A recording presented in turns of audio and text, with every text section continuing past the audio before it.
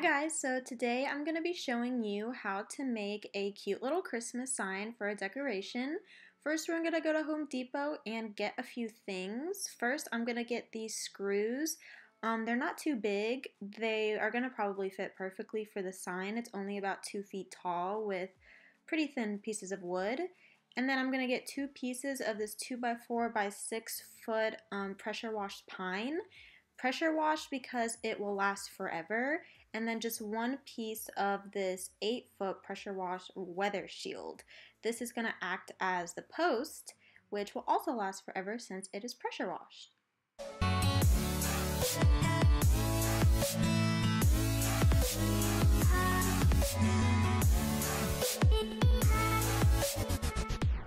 Now we're going to be using a circular saw and you're basically just going to take the pressure washed pine and cut that in half after that, you're going to be cutting each end into a V shape, which is going to act as the pointy end of the arrow.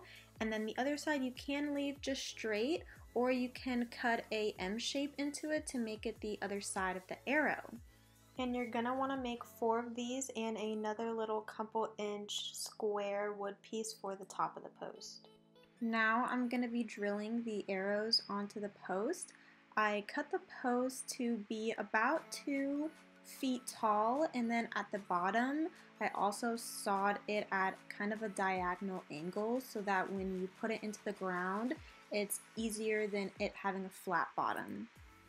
And then after that, you're ready to start painting. I basically just got all of my outdoor paint from Michaels. You could probably definitely get some from Home Depot or something like that, but I just get everything from Michaels.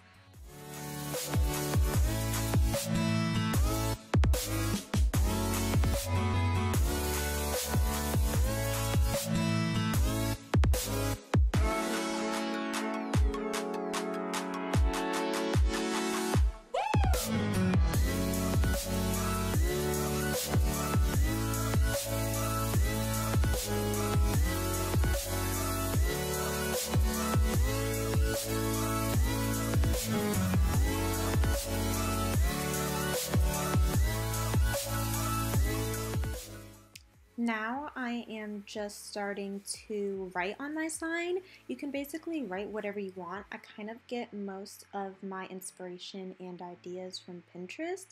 I kind of write different things on each sign just so they're not all the same.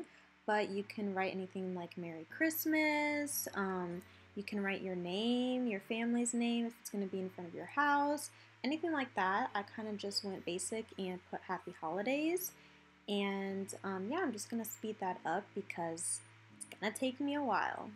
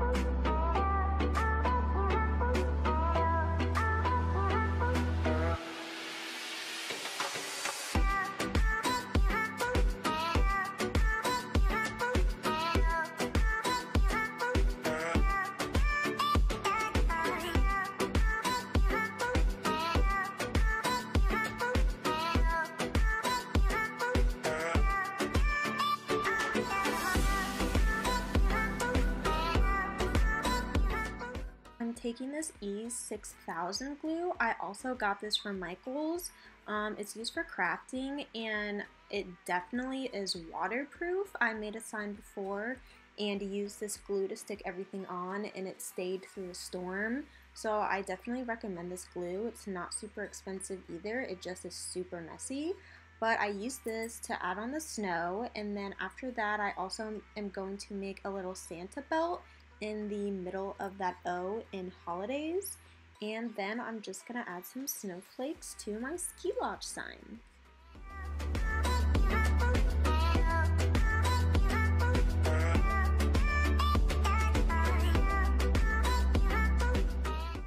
So So now I'm just going to take some Christmas ribbon and make that into a bow.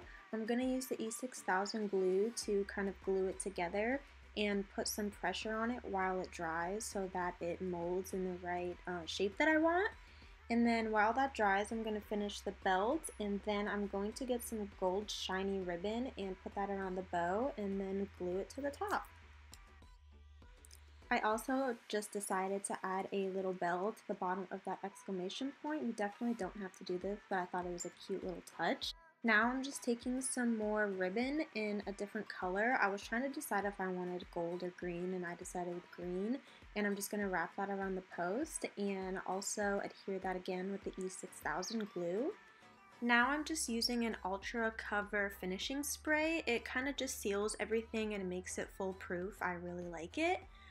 So yeah, that's the finished sign. I hope you guys like it. I have so much fun making them and I think they're perfect for your house or even as a gift. They're my favorite. And yeah, if you guys like this video or if you want to see anything more from me, definitely like this and subscribe and I'll see you in the next one. Bye!